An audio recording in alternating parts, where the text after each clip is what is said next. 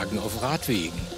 Äh, Paketboden, alles mögliche, man schnell beim Bäcker einkaufen. Also das ist für mich ein richtiges Ärgernis. Ja, Radfahren kann ganz schön gefährlich sein, aber wir helfen Ihnen weiter. Wir klären, wie Sie die kommende Radsaison trotzdem genießen können und wie Sie das richtige E-Bike finden. Denn heute ist ja HR Radtag und wir sind die Ratgeber. Hallo, liebe Zuschauer. Ja, es ist eine sehr traurige Bilanz. Im vergangenen Jahr sind 455 Radfahrer in Deutschland gestorben. Deutlich mehr als im Jahr davor. Bevor wir Ihnen Tipps geben für mehr Sicherheit auf dem Fahrrad, schauen wir uns erstmal die aktuelle Situation im hessischen Straßenverkehr an. Trauriges Ende einer Radtour. Ein 63-jähriger Radfahrer wollte bei Eppertshausen im Landkreis Darmstadt-Dieburg eine Landstraße überqueren. Dabei wurde er tödlich verletzt, weil ihn ein Autofahrer übersehen hatte. Tödlich endete die Fahrradfahrt auch für eine 53-jährige Frau aus Darmstadt. Beim Überqueren der Straße wurde sie von einem Autofahrer erfasst.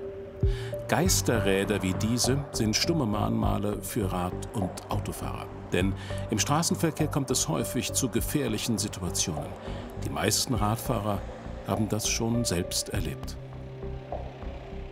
Ein Auto, was aus einer ähm, Straße herausgefahren kam, mich nicht gesehen hat und mich ähm, angefahren hat leicht. Einmal ist es mir passiert, dass ich eine Straße bergab gefahren bin und es hat ein Autofahrer die Tür aufgemacht und ich wäre beinahe in diese, äh, in die, also in die Haupttüre gefahren. Fahrradwege, die plötzlich ohne Vorwarnung mitten auf der Straße enden. Autofahrer, die zu dicht auffahren lebensgefährlich für Radfahrer. Dass die Fahrradwege einfach manchmal mitten auf der Straße enden und ja, dass die Autofahrer wenig Rücksicht nehmen. Das Parken auf Radwegen. Äh, Paketboden, alles mögliche, man schnell beim Bäcker einkaufen. Also das ist für mich ein richtiges Ärgernis. Wenn man Vorfahrt hat, auf der Hauptstraße fährt, dann kann es ganz oft sein, dass von rechts, obwohl es nicht dürfte, ein Auto rausfährt und man selber eine Vollbremsung hinlegen muss. Zugeparkte Fahrradwege zwingen zum Schlenker auf die vielbefahrene Hauptstraße oder den Fußweg. Alltagssituationen, die oft zu verheerenden Unfällen führen. Gegenseitige Rücksichtnahme wäre ein erster wichtiger Schritt. Dennoch muss sich auch die Infrastruktur deutlich verbessern, fordert Bertram Giebeler vom Fahrradclub Frankfurt. Wir fordern, dass an allen Straßen, an denen Tempo 50 gilt, es eine Radverkehrsführung geben muss. Das heißt entweder ein Radweg oder einen Radstreifen oder einen Schutzstreifen, aber auf alle Fälle eine erkennbare Radverkehrsführung, die auch so breit ist, dass ein Autofahrer einen überholen kann, ohne einen zu eng zu bedrängen, also dass er auch den Sicherheitsabstand einhalten kann. Die Sicherheit von Radfahrern sollen auch diese grünen Pfeile an großen Kreuzungen verbessern. Wie hier in Darmstadt läuft dazu gerade ein bundesweites Pilotprojekt an. An einer roten Ampel mit dem neuen Verkehrszeichen dürfen rechts abbiegende Radfahrer weiterfahren und kommen dadurch sicher vor den Autofahrern über die Kreuzung, erklärt Peter Rosteutscher von der Stadt Darmstadt. Wenn es jetzt gar nicht zu der Situation kommt, dass quasi Autoverkehr und Radfahrer nebeneinander stehen, sondern der Radfahrer eigentlich die ganze Zeit frei abfließen kann, ist das natürlich ein Konfliktrisiko, das wir mindern. Das fände ich sehr gut. Man wird ja von den Autos dann trotzdem eingeholt. Die Rechtsabbiegerautos kommen ja trotzdem. Aber nicht nur Radfahrer äußern Bedenken. Wo es Sorgen gibt, ist der Bereich der äh, Sehbehinderten und Blinden die natürlich eine Sorge haben, wenn jetzt quasi legal der Radfahrer über Rot dann in der Fußgängerampel äh, fährt, dass ähm, sie im Gegensatz zum fahrenden Auto, das man hört, den Radfahrer nicht hören und dann die Sorge haben, dass die Sicherheit beeinträchtigt wird. Der grüne Pfeil ist in der Testphase. Es wird sich zeigen, ob er künftig wirklich mehr Sicherheit bringt. Aber schon jetzt verhindert gegenseitige Rücksicht Unfälle und traurige Mahnmale. Ja, das ist wohl wahr. Und bei uns ist Cornelius Blanke vom ADAC. Hallo. Der ADAC vertritt ja eigentlich Autofahrer traditionell, aber inzwischen auch, äh, hat er mehr und mehr die Fahrradfahrerbrille auf. Darin sind Sie auch sehr gut. Ähm, wir vom HR haben eine repräsentative Umfrage gemacht und rauskam, dass drei von vier Hessen sagen, man sollte Fahrradwege verbreitern, auch auf Kosten des Platzes für Autos. Sehen Sie das so ähnlich? Es müssen alle dort Platz finden. ADAC ist Mobilitätsdienstleister für alle Verkehrsteilnehmer. Und der Autofahrer ist ja oft auch Fahrradfahrer oder nutzt die ÖPNV. Also wir müssen für alle da sein und sind für alle da. Und da muss man Wege finden, das hinzukriegen, ja. Aber sehen Sie das auch so, dass es tatsächlich zu wenig Platz gibt für die Fahrradfahrer? Es gibt Flächen, wo zu wenig Platz ist für die Fahrradfahrer und wo auf Kosten anderer Verkehrsteilnehmer da etwas gemacht werden muss, weil im Endeffekt es eine Win-Win-Situation für alle wäre. So nach dem Motto, wenn einer aufs Fahrrad umsteigt, ist er ja nicht im Auto unterwegs und dann gibt es da mehr Platz. Es gibt ja in vielen Situationen solche Striche, die eine Fahrradbegrenzung markieren. Andererseits kann da ein LKW, ein Auto auch locker drüber fahren. Mhm. Vergisst es auch gern mal. Sie haben uns Fotos aus Wiesbaden mitgebracht. Mhm. Da ist das anders. Da sind solche ähm, extra Kunststoffpoller aufgestellt. Warum gibt es sowas nicht überall in Hessen? Ja, diese sogenannten Protected Bike Lanes äh, gibt es noch nicht genug. Die muss es mehr geben, weil dann wirklich ein geschützter Raum für den Fahrradfahrer ist, der dem Autofahrer signalisiert, hier darf ich nicht rüberfahren. Dann fängt es richtig an zu huppeln und es gibt dem Fahrradfahrer Sicherheit. Und das sollte mehr kommen. Das ist eine gute Einrichtung, die sicherlich auch weiter in Hessen äh, vorangehen wird. Und es ist vor allem was, ähm, wozu man nicht ganze Straßen umbauen muss. Man muss nur irgendwas auf die Straße stellen. In dem Fall diese Kunststoffteile. Wir können noch mal ein zweites ja. Foto einblenden. Das haben Sie uns auch mitgebracht. Da sehen wir auch so eine Protected Bike Lane, wie Sie es nennen, aber auch so eine Gefahrensituation heißt. So ganz sicher ist es dann doch nicht, oder? Ja, diese äh, Lanes beginnen 20, 25 Meter vor der Kreuzung. Davor können Autos parken. Und dieser Autofahrer hier ist eben quasi in den Beginn dieses Fahrradweges, dieses geschützten Fahrradweges gefahren. Der Fahrradfahrer macht einen Schlenker nach links. Und genau das soll ja nicht passieren zeigt wieder, was Autofahrer, wenn sie falsch parken, alles ähm, verursachen können. Genau. Wenn ich jetzt als Autofahrer einen Fahrradfahrer überhole, das ist ja auch so eine Situation, wo viel schiefgehen kann. Was kann ich da falsch machen, beziehungsweise was, worauf sollte ich achten, damit es nicht zu einem Unfall kommt? Beim Überholen weiß ich als Fahrer, als Autofahrer, die nächste Kreuzung, die nächste Rotampel kommt bestimmt.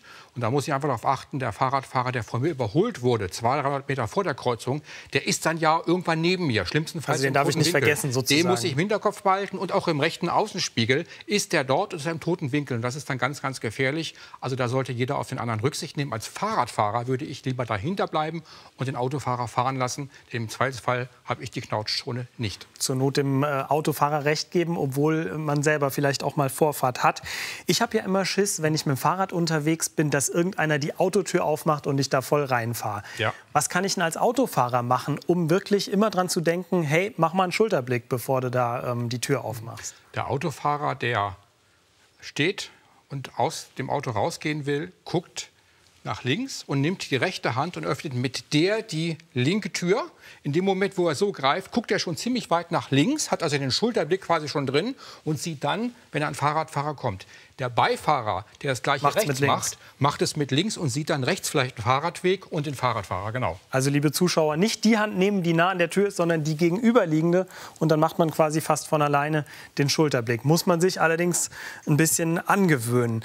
Auch Fahrradfahrer verhalten sich ja manchmal wie Raudis und sind am Ende selber die, die auf der Straße liegen. Was sind die typischen Fehler von Fahrradfahrern, die am Ende zu einem Unfall führen? Fahrradfahrer machen ganz ungern Umwege und sie halten ganz ungern an. Aber das muss manchmal sein. Das heißt, man muss wirklich vorausschauend fahren, auch mal nicht auf sein Recht pochen. Und was ganz, ganz wichtig ist, man sollte, wenn man über den Gehweg fährt und dann über einen Zebrastreifen rüberfährt, vorher absteigen. Man darf nicht mit dem Fahrrad über den Zebrastreifen fahren, weil man viel zu schnell rüber wäre. Der Autofahrer wird eigentlich sehen. Das machen viele Fahrradfahrer verkehrt. Und sie fahren manchmal auch ganz gerne in Einbahnstraßen, wo es nicht erlaubt ist. Habe ich was dazugelernt. Vielen Dank, Herr Blanke, dass Sie äh, da sind. Und wir sehen Sie gleich noch mal zum Thema E-Bikes und können bis hier zusammenfassen.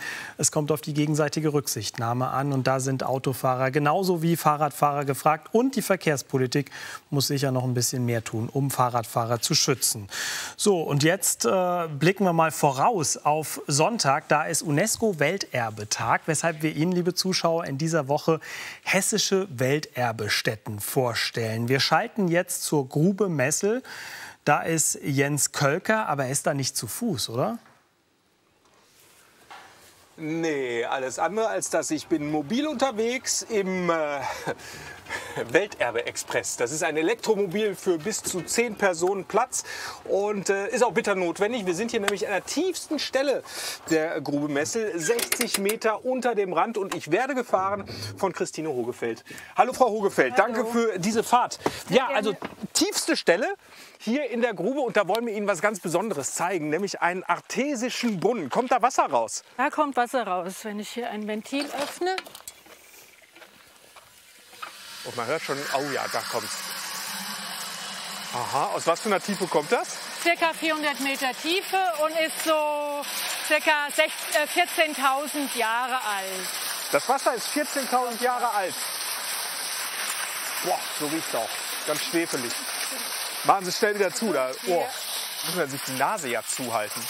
Ich meine, den Brunnen hat man nicht gebaut, um, um, um Wasser zu bekommen, sondern um Wasser rauszufinden. Er hat 2001 eine Probebohrung abgetäuft, hier an dieser Stelle 433 Meter tief und konnte daraus finden, dass wir hier in einem Vulkankrater stehen, in einem Ma-Vulkan. Oh. Vor 48,2 Millionen Jahren ausgebrochen.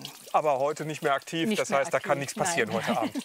Fein. Das ist ja eine ganz spannende Gegend hier, diese Grube Messel. Aber warum ist Grube Messel auch ein äh, Welterbe der UNESCO? Wir finden hier im Ölschiefer sehr viele Fossilien, sehr viele unterschiedliche Arten. Ähm, in einer so hohen Qualität wie an keiner anderen Stelle auf der ganzen Welt.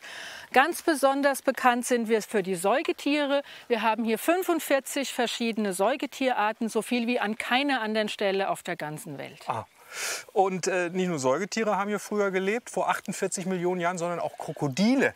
Woran äh, konnten Sie das festmachen? Ich habe hier was mitgebracht. Das ist ein sogenannter Koprolit, also fast 50 Millionen Jahre alte Krokodilkacke. Ein Koprolit oder Kotprolit? Koprolit. Koprolit. Der? So gut hat es nicht Nee, gehalten. der riecht nicht. Der riecht nicht. Wir haben hier übrigens noch eine äh, Replik von einer Versteinerung eines Fisches. Ein Barsch war das, Barsch. gell? Mhm. Auch der war hier früher zu finden schon. Genau, der hat hier gelebt vor 48 Millionen Jahren. Anhand dieser äh, Versteinerungen können Sie ja auch Rückschlüsse auf das Aussehen der Ja. längst ausgestorbenen Säugetiere ziehen. Wie machen Sie das? Ähm, wir können Modelle erstellen. Wir wissen es auch ganz genau. Wir haben hier als Beispiel mal ein Modell eines Urpferdes mitgebracht. Man hat hier schon ungefähr 70 Stück gefunden. Das ist die kleinste Art, so groß wie heute ein Foxterrier beispielsweise.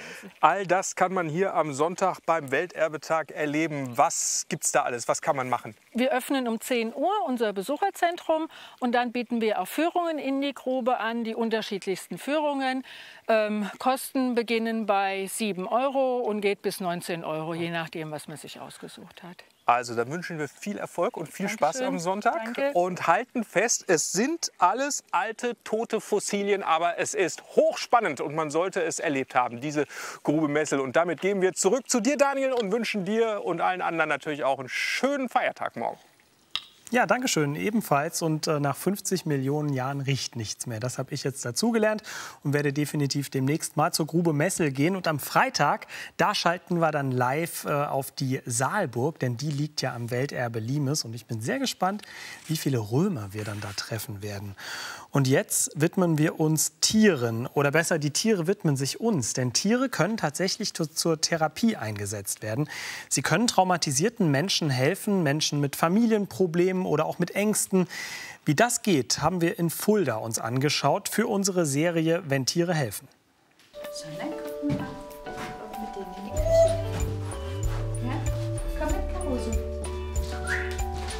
Komm her. Astrid Lambrecht aus Petersberg bei Fulda ist eine sogenannte systemische Therapeutin mit einem besonderen Konzept. Selten sitzt sie ihren Patienten gegenüber. Die Stunde mit ihrer Patientin Nina zum Beispiel wird in der Küche stattfinden, damit auch die beiden Graupapageien Caruso und Cookie mit dabei sein können. Es geht um Ängste vor Nähe, vor Schmerz, vor unberechenbaren Situationen. Wovor hast du Schiss? Äh, Dass der mich im Finger zwickt. Das ist jetzt Okay. Und was geschieht, wenn der Vogel Nina noch weiter auf den Leib rückt? Ich glaube, der fühlt sich da nicht so ganz wohl. Ich fühle mich auch nicht, nicht Du wirklich. fühlst dich nicht Nee. wohl. Ja, dann sag es so, du fühlst dich nicht wohl. Ich würde dir sagen, mein Papagei fühlt sich bei dir total wohl. Kannst du dich erinnern, wann du das letzte Mal so richtig Angst hattest, dass du so angespannt warst? Ja, vor, vor Prüfungen oder wenn ich allein bin oder so. Wenn du alleine bist? Willst du ihm noch eine Die? Papageien bringen Unsicherheiten ans Licht. Das hilft Astrid Lambrecht bei der Therapie.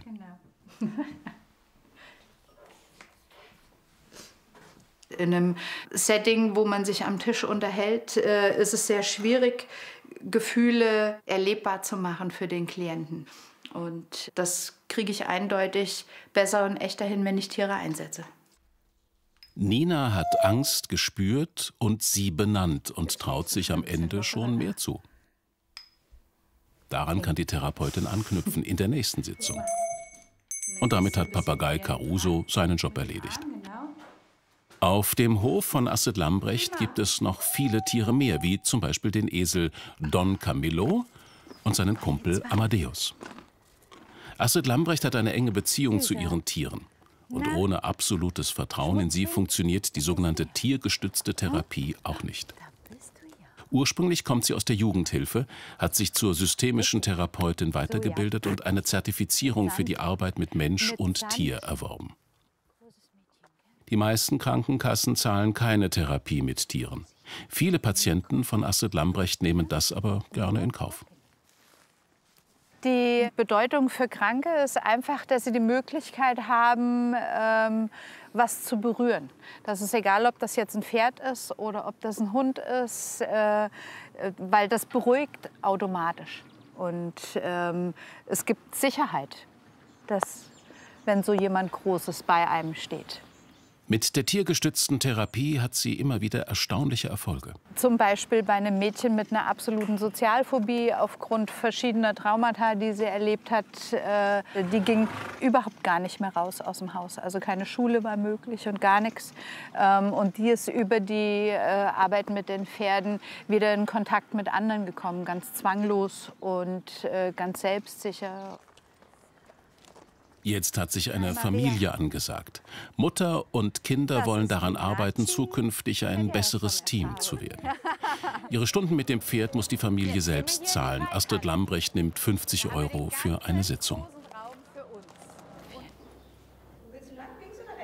Wo wir so einen Kreis schrubben, probier's mal aus. Gehst du mal hin, dann probierst du es mal hier aus.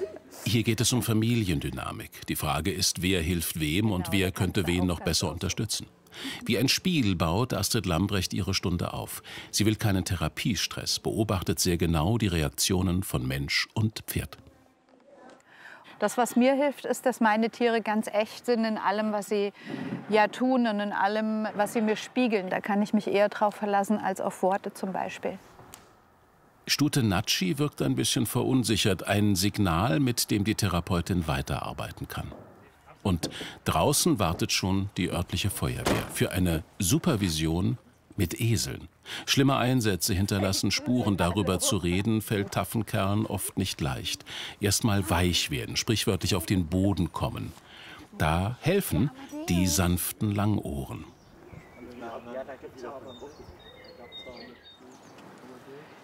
Ich habe gedacht, wir nehmen die Esel und wenn wir über euer schwieriges Thema reden, dass wir einfach eine Runde mit laufen. Worum es genau geht, das will die Mannschaft nur mit der Therapeutin teilen. Viele Erlebnisse wirken bis ins Privatleben nach, blockieren, traumatisieren. Die Esel lenken die Männer ab, nehmen den Druck und machen das Sprechen leichter. Für Astrid Lambrecht eine unersetzliche Unterstützung. Die Tiere sind alles für mich, für mich privat und für die Arbeit. Und wenn ich sie nicht hätte, würde ich das nicht arbeiten, was ich arbeite.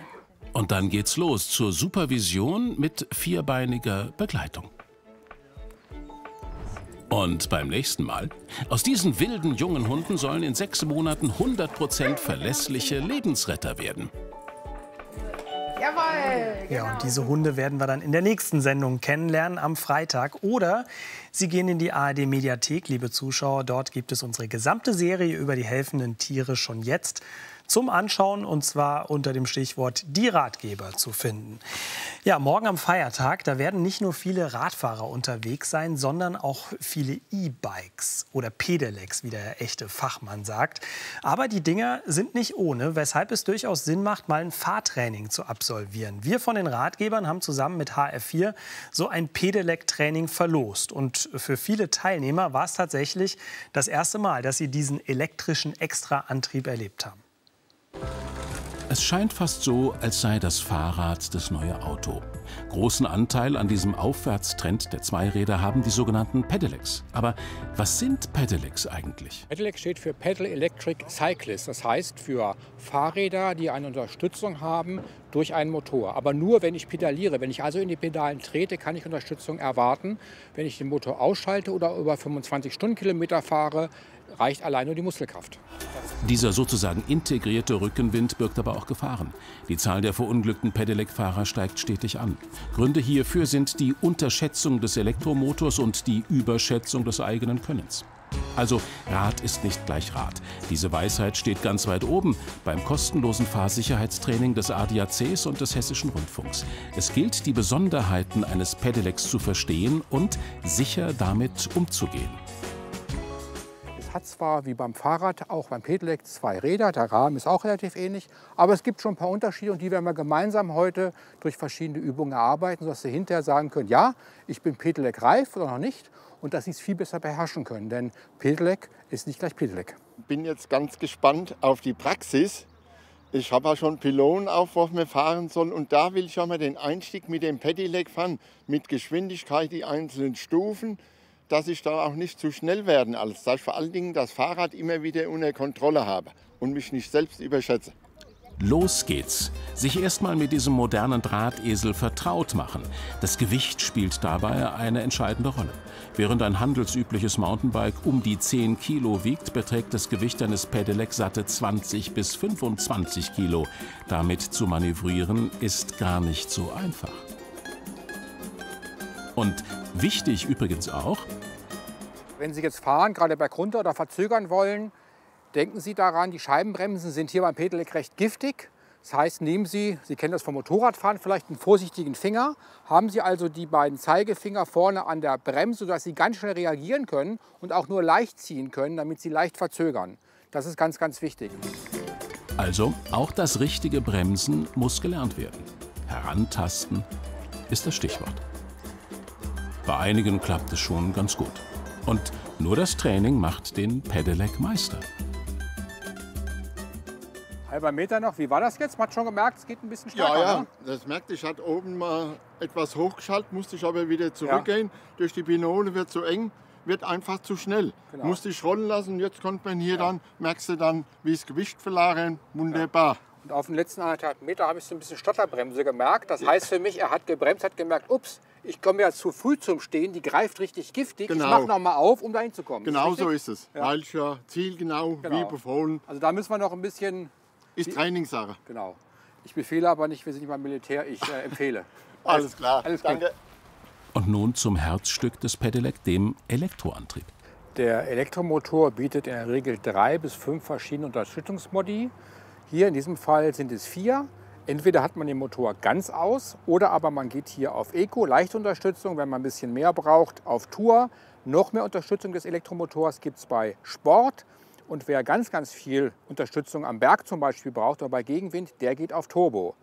Hat natürlich den Nachteil, dass unter Turbo Sie vielleicht nur 20, 25 Kilometer Reichweite haben, während wenn Sie dann wieder auf Eco umspringen, sind es auf einmal 60, 70. Das muss man sich einteilen. Dafür haben Sie hier oben diese Balken, die Ihnen anzeigen, wie viel Restenergie Sie noch haben. Übrigens von Restenergie kann bei den Teilnehmern keine Rede sein. Es macht allen sichtlich Spaß. Glücksgefühle inklusive. Juhu, noch fliegen, ist schöner. Alles super. Super, die HR4-Tour winkt. Klasse! Super, es war ganz toll. Meine Erwartungen sind total übertroffen worden. Berghoch, man fliegt wie eine Feder, obwohl ich mich auch gerne anstrenge, aber dafür kann ich sie ausschalten. Also toll, doch, wäre eine Kaufüberlegung wert. Berghoch, kein Problem. Klar, man merkt schon, es ist, wird gut die Unterstützung, also man muss schon aufpassen, man muss gut bremsen.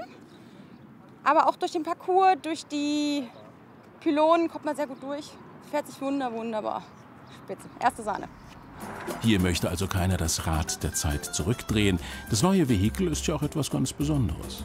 Super, schöner Tag gewesen. Die Leichtigkeit des Fahrens kennengelernt. Wunderbar. Super Truppe. Pedelec bringt's. Hat unheimlich Spaß gemacht. Berge sind kein Thema mehr. Das Pedelec ist also nicht nur eine komfortablere Version des Radfahrens, sondern auch eine, die man erst mal lernen sollte. Aber dann wird es eine Erfolgsstory auf zwei Rädern. Ja, und der Mann, der einem äh, genau bei dieser Erfolgsstory hilft, der ist jetzt noch mal bei uns im Studio. Er hat äh, den Helm wieder abgezogen und wieder ein Hemd an. Äh, Cornelius Blanke vom ADAC. Sie haben uns auch zwei Räder mitgebracht. Warum genau diese zwei? Das ist ein klassischer Rahmen, wie man ihn kennt. Aber hier ist der Akku verbaut, den man sehr gut sehen kann. Und hier hinten ist ein Hinternabenmotor, der besonders viel Power hat, sage ich mal, und das Fahrrad, in diesem Fall das Pedelec, nach vorne schiebt. Wiegt so gut 20 Kilo, schätze ich mal. Also ein klassisches E-Bike. Klassisches. E-Bike. Ich sage E-Bike, Sie sagen Pedelec, Pedelec. geht beides, oder? Geht beides. Okay. E-Bike ist der Oberbegriff, Pedelec heißt, da trittst Das du, sonst passiert nichts. Ja. Genau. Das hier ist ein klassisches Rennrad. Sehr schnell. Und das hat, was Sie nicht sehen werden, einen Motor. Es hat einen Akku. Und der, ist versteckt. Der ist versteckt im Unterrohr. Und ähm, Kriege ich das ab? Nee, machen Sie mal besser, oder? ich versuche das mal. So, jetzt nehme ich das raus. Und wenn ich den anhebe, ist das im Grunde gar nicht mal so schwer, ehrlich gesagt. Also deutlich unter 25 Kilo, vielleicht 8 oder so, kann es sein? Sagt jetzt mein Dieses Hochgefühl. Produkt hier aus Hessen hat 13 Kilo mit dem Motor und dem Akku. Ohne sind es bei 10 oder Okay. unter 10. Ja, das, ist schon gut. Rennradqualität. Also das geht richtig gut ab. Und das Verrückte ist, das hier ist nicht nur der Akku, sondern Akku und Motor, der wieder von mir jetzt versenkt wird, verschwindet. Und das ist auch ein Trend bei Pedelec-Fahrern. Die wollen Pedelec fahren, aber wollen gar nicht, dass man es unbedingt erkennt. Das geht in die Richtung. Also das ist sozusagen verstecktes E-Bike, sollte man bei der Tour de France nicht verwenden. Aber Genau. ansonsten ist es okay, kostet wahrscheinlich einen Haufen Geld, oder? Das kostet so knapp 5000 Euro, hat aber auch einen Carbonrahmen und ist ein Hightech-Produkt. Okay, und für ein normales E-Bike, was soll man da ausgeben, wenn man jetzt ein gutes, aber sicheres Rad haben will? Unter 2000 würde ich keins kaufen. Ich würde auch nur beim Fachhändler kaufen. Und um drei ist man gut mit dabei. Man muss aber auch einrechnen, man muss einen guten Händler haben, wo Inspektionen und andere Dinge eben gut erledigt werden können. Das gehört dazu. Und man braucht Sicherheitsausrüstung. Wir gehen mal hier rüber. Da haben Sie mitgebracht, was Sie so anziehen zum E-Bike fahren. Helm ist keine Pflicht, aber sollte man trotzdem anziehen. ja. Handschuhe, Signalklamotten und eine Brille, auch eine Glasichtbrille. Warum gerade eine Brille? Diese Brille ist selbsttönt, das heißt, bei Sonne ist es ein guter Schutz. Aber wenn ich mit dem Pedelec 25 Stundenkilometer fahre oder auch bergunter mal schneller, ist das gegen Insekten natürlich wunderbarer Schutz und auch gegen Zugluft. Bei 25 Kilometern kommt schon mal was in die Augen. die man ansonsten sich ja per Kraft erzeugen muss. Genau. Und äh, so ist man ständig so schnell unterwegs. Apropos schnell, es gibt ja auch E-Bikes, die nicht nur bis 25 km/h beschleunigen, sondern bis 45. Würden Sie mir dazu raten? 95 Prozent der Leute sagen nein, ich kaufe ein normales Pedelec. Da darf ich einen Helm aufziehen, muss es aber nicht. Ich rate es aber allen. Man kann auf dem Fahrradweg fahren und man braucht keine Versicherung. Bei dem 45er, was 45 Kilometer schnell fährt, das sogenannte S-Pedelec, Speed-Pedelec, da brauche ich ein Kennzeichen, also eine Versicherung. Ich brauche entsprechend den, äh, die Straße, auf der ich fahren darf, das Kennzeichen, ich brauche Reflektoren, ich brauche Beleuchtung, ich brauche einen Führerschein, also ganz, ganz viele Dinge, die ich sonst nicht brauche. Also ich empfehle, ein Pedelec zu kaufen. Und wenn man schneller als 25 fahren will, kann man ja noch selbst treten. Tatsächlich. Und äh, würden Sie sagen, äh, nur ganz kurz die Frage noch, E-Bikes werden äh, Autos langfristig teilweise ersetzen in, in der Stadt zum Beispiel? In Städten gibt es Trends dazu, dass Leute ihr zweites Auto verkaufen und sich ein Pedelec kaufen oder auch ein Cargo-Bike mit Motor. Da können die Kinder rein, da kann das Gepäck rein sogar Handwerker fahren damit schon durch Städte und haben keine Parkplatzprobleme. Und es gibt HR-Kollegen. Ich habe gerade äh, heute Morgen auf dem Weg zur Arbeit jemanden gesehen, die haben sowas auch schon. Die transportieren damit ihre Kinder und Wasserkästen. Passt Klasse. so einiges rein mit diesen Transport-E-Bikes. Vielen Dank für alle Tipps. Also Sehr wer gern. sich jetzt eins kaufen will, der weiß Bescheid. Und liebe Zuschauer, wir empfehlen Ihnen heute zum HR-Radtag auch die Hessenschau um 19.30 Uhr anzuschauen. Die Kollegen testen die ersten Kilometer des Radschnellwegs zwischen Frankfurt und Darmstadt. Und davor kommt natürlich noch alle Wetter mit Thomas Ranft. Und Thomas, die Frage ist, wird es denn radtauglich, das Wetter, oder müssen wir Regencape einpacken morgen am Feiertag und die nächsten Tage? Also ein Regencape einfach mal mitnehmen ist ja per se überhaupt nicht falsch. Ich finde, das ist morgen das perfekte Radfahrwetter aus zwei Gründen. Wir starten sehr sonnig, aber ab Mittag ziehen dichtere Wolken auf. Das heißt, wir bekommen nicht so schnell einen Sonnenbrand. Und es ist nicht zu heiß. Wir kratzen an der 20 Grad Marke, aber es wird nicht mehr. Und das ist ja ganz gut, wenn man nicht so sehr schwitzen muss auf dem Rad. Mehr jetzt bei uns. Klingt nach perfektem Christi Himmelfahrtwetter und die Wolken im Hintergrund haben es ja auch schon gezeigt. Und äh, der blaue Himmel. Wir melden uns nach Christi Himmelfahrt wieder, dann Freitag wie immer 18.45 Bis dahin. Tschüss.